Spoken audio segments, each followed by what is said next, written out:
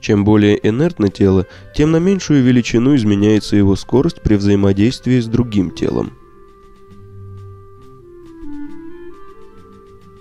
Опыт со стаканом, наполненным водой, из-под которого выдергивают лист бумаги.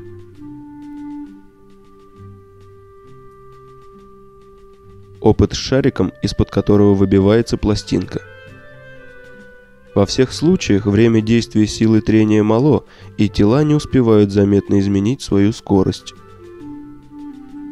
Нередко это является причиной ошибочного утверждения, что мы наблюдаем явление инерции покоя –